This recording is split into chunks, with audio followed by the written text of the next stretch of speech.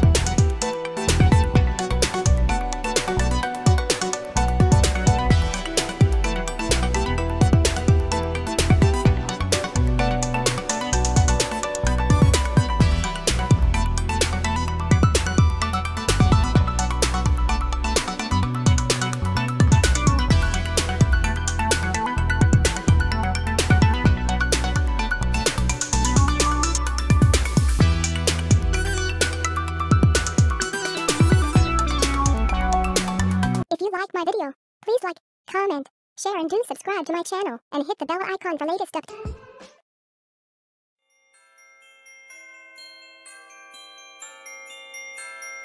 Thank.